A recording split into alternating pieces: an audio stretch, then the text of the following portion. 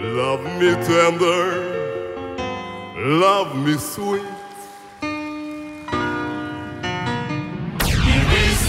Что так было всегда.